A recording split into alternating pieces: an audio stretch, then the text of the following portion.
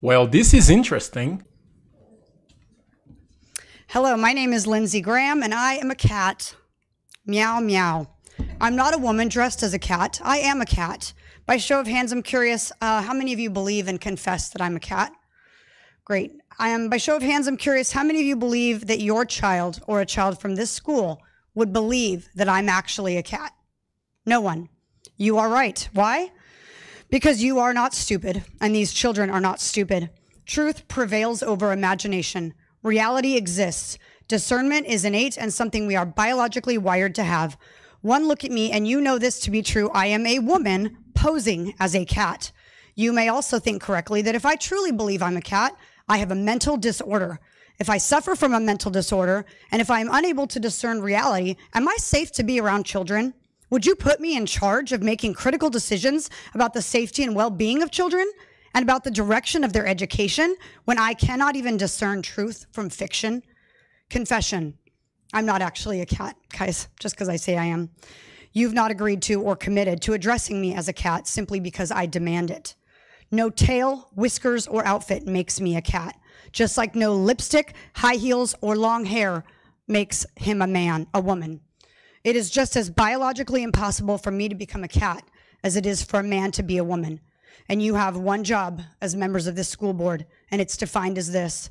School board members are responsible for broad, forward thinking, minute analysis and decisive action in all areas that affect students and staff in their schools. I ask you, do you believe that the actions of a grown man playing dress up as a woman affects the students and staff positively or negatively? A public school is not the place for social experiments in altered realities or gender ideologies. It is not the place to celebrate a grown man with a mental illness, dressing as a woman, and teaching kids lies.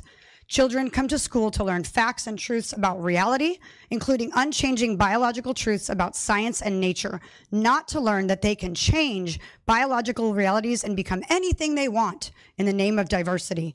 What you're actually doing is worse than just lying to our kids. You're forcing them to be participants in your lie, in your charade. You're forcing them to deny what they see with their eyes, and you're forcing them to speak lies. I ask you again Am I a cat? And if you say no, then the mindset must be aligned with your discernment across the board. By allowing a falsity to be displayed and paraded around the school, you teach children that truth is not existent, facts are not real, and biology is a lie. You fail at your job, your only job, by confusing children and teaching them untruths and to coddle a grown man playing dress up as a woman. If you were to address me as a cat right now, it's as ridiculous as when you say Miss Bixler and a grown man's voice comes thundering over the. Thank you. All right, let me know what you think about this video in the comment section. Now, anybody, anybody with common sense understands the fact that the lady in the video was just trying to prove a point, okay? Just because she's dressed as a cat doesn't mean she actually is a cat. We're getting close to uh, Christmas. You'll see a bunch of Santa Claus, right? Just because somebody is dressed as Santa Claus doesn't mean he actually is Santa Claus, right? Now, the lady in the video, if you care, was protesting this person right here here on the screen. Bixler, Mr. Bixler, now Mrs. Bixler. And this person here wants everybody in the school district, in the school, to um, address him as she. So it says here that she transitioned late in life. I don't know how late, three to four years ago, that this person here, this man transitioned to become a, a woman.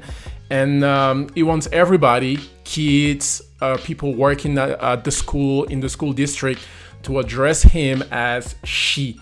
And that's what she was talking about. Like she's confusing kids or he she whatever he wants to be called that is um yeah this is confusing bro. Just because you're putting some men's some female clothes probably have a little bit of makeup and all the jewelries and everything that's happening in this picture yeah it's confusing. It doesn't mean you are a woman bro. You still i can see you as a man. It's it's just what it is right and uh, even him says right there, this is another picture, and he says right here, when I do get a reaction, it's usually the little kids. They'll kind of look at me, they kind of wonder what's going on, she said.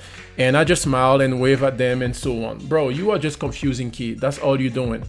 Not at school. Really? School? That's when the kids are supposed to learn geography and science and biology. Well, this is not biology anymore because it's just all a lie, right? But anyway, I think it's a blessing. Thank you to this woman. God bless her. I think it's a blessing we have more people uh, courageous enough to come out and say, no, we are not going to accept this. This is not okay. This is a lie. You are not going to force me into whatever's going on in your head. Obviously, Mr. Bixler, Mrs. Bixler, maybe you just need some help. Maybe that's all it is, right?